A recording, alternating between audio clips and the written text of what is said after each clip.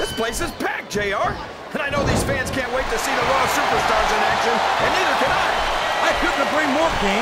We certainly appreciate the support of these great Phoenix fans, and I personally guarantee that they're going to get more than their money's worth tonight.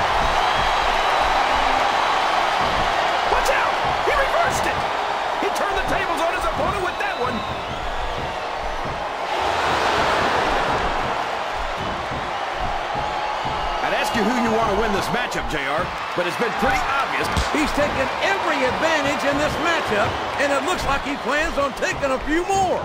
If he's not the dirtiest player in the game, JR, he's a shoe-in for second place.